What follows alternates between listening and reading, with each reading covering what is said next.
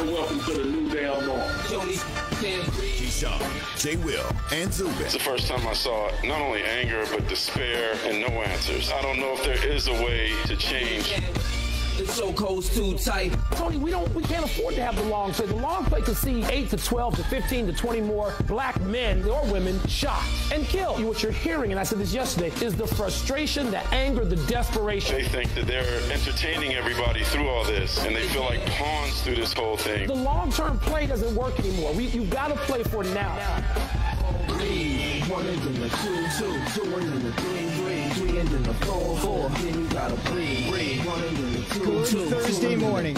It's a phrase uttered more in 2020 than in the previous 20 years combined.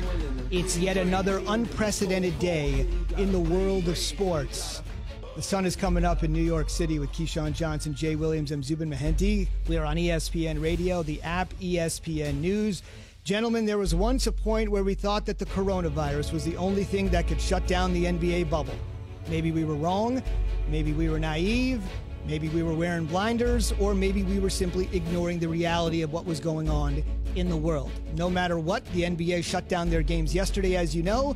Today's triple header on ESPN is in serious peril. There will be a Board of Governors meeting. Key, I want to start with you. When we left here at 10 a.m. Eastern Time yesterday, both you and Jay had an inkling that something was going to happen, and something certainly did happen. The Bucks started it, the other teams ended it, and we're not sure Maybe the NBA is crowned a champion for 73 straight years. This is the 74th year of the league, and this might be the first time there's a blank next to the Larry O'Brien trophy. That, that is true. When we were here yesterday, I wasn't even focused in on the Bucks. I was focused in on Toronto because that was the conversation that was being had. Right. Uh, just never dawned on me that the Bucks were going to be the first to put their foot down. And then once I got to NFL Live and we got ready to start our show there, prior to that, you could there was some grumblings about something could be coming down. The Bucks are taking the court, and then at the end, it was like, you know what?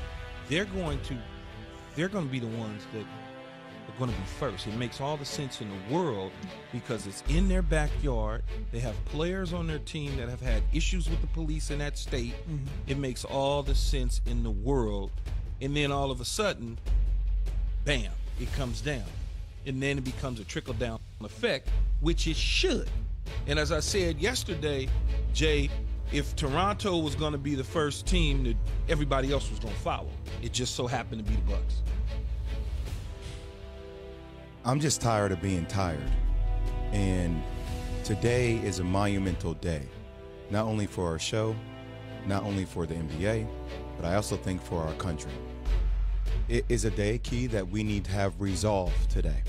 There is a lot of stuff happening in the world right now. Oh, yeah. We have racism, we have a pandemic, we have Hurricane Laura, we have CDC guidelines that are being changed. It seems like it is a tornado of chaos. But I will not let the weight of the world hold me down from being animated and being an instrument of precision when it comes to creating change. We have to continue to use our voice and be more energized and animated than ever before and be rejuvenated. And for this conversation that we're having today, I think it's so important. And as it relates to the NBA, I do not think we will have an end of the season. I do not. It's going to be really hard for after the tone that was set yesterday, that I am sure is going to be followed today, to try to stoke change and create change from a legislation perspective, which we know does not happen overnight, to then all of a sudden say we're just going to come back and play basketball. Now, look, people are going to try to use this against basketball players ultimately by saying, well, you have the China situation, and I didn't see people stand up against China. And I say, well, I'm not focused on China right now. I'm focused on our country, and that's what our NBA players are doing right now. And I think you're going to see NFL players follow suit and align together. And I will say this yesterday, I was a little bit unsure about whether boycotting was the right answer.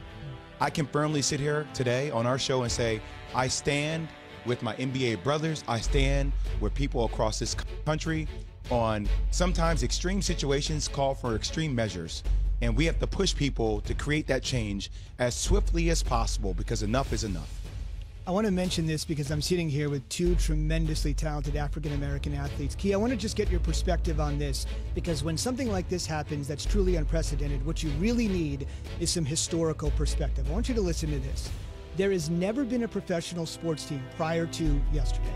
There had never been a professional sports team ever that had refused to play a game due to social injustice. We're talking the 1960s, we're talking Bill Russell. There was one caveat I want to bring forth because if the Ultimate Champion is listening this morning, I know he was active on Twitter last night.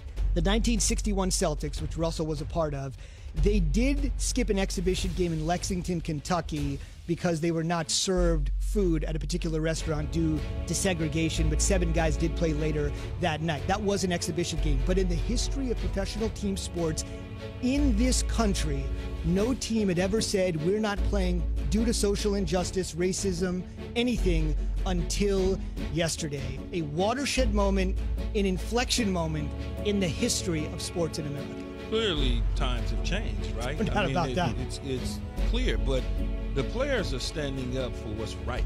I mean, like Jay was saying, you get tired of being tired. Like it's it's enough. Like you can't continue to think that we're supposed to entertain you playing basketball and forget about people being gunned down in the streets.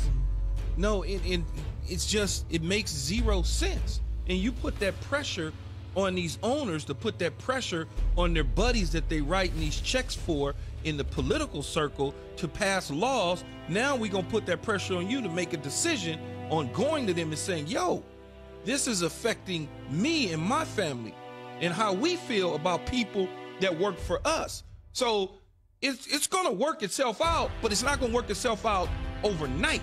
And we must all understand that. Well, that's where it comes down to, Key, you know, the next step in the evolution of this process.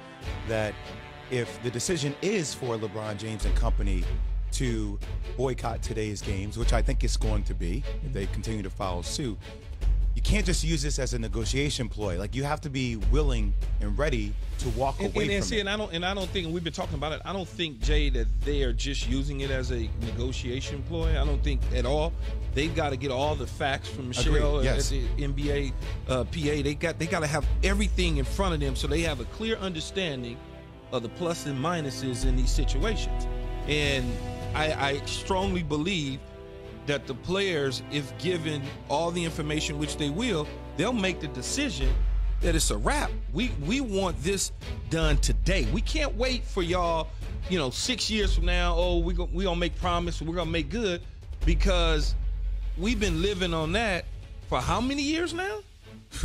Too long. Too long. And what the answer is, once you assess that information, who know who knows how long that takes, right? Well, it's Like, gonna- it- it's going to take a minute it- to assess it's all the information, the pros and the cons, like you alluded to. But once you, I, I, I do really feel this way. What the players have right now, Key, is not leverage over the NBA. They have the ears of the entire planet. Yes. So what comes out of their mouths next is extremely imperative. It sets the tone. So I said before, being that instrument of precision, you have to outline what it is you want from a local, a state, and a federal level, and then give targets to owners to then deploy assets and their resources to get those things done. And I, and I think that they will have that in place and be able to do it.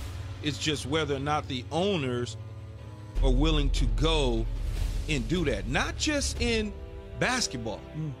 Okay, basketball pretty much for the most part have always kind of done the tried to do the right things. Football is